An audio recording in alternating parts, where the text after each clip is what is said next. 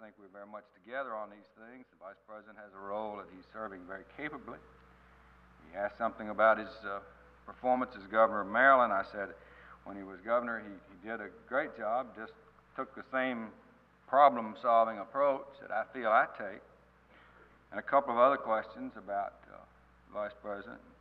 Finally, he says, Well, if the President came to you and said, Would you take the job as Vice President, what would you say? And I said, What would you say? Yes, very proudly, of course. and of course, that was what he wanted to hear, and that's what he came out all over with. So I've been reading about myself running for something else.